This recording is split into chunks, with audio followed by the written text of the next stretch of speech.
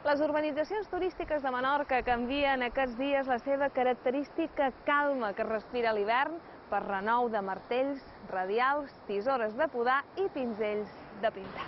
La pluja dels últims dies ha endarrerit la feina i els darrers retocs són avui a contrarrellotge. Les parets han de quedar ben blanques per la Setmana Santa. Aquests dies les empreses de manteniment de xalets tripliquen la càrrega de feina per deixar-ho tot a punt per entrar a. Els dos darrers anys, sobretot per Setmana Santa, s'ha notat moltíssim que ha augmentat. Eh, els clients antes quasi no venien i de fa dos anys cap aquí venen un 70 o 80% més de, de gent que venia.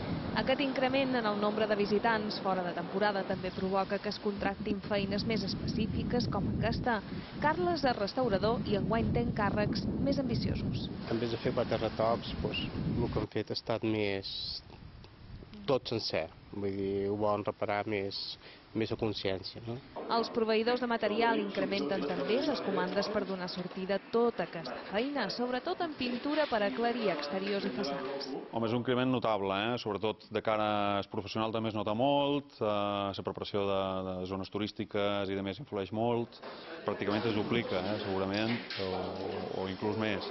Eh, això ja es veure quan una vegada s'ha acabat. Enguany hi haurà una mica més de feina, perquè la Setmana Santa cau molt prest, així que per molts la posada a punt serà doble una ara i una altra al començament de la temporada turística.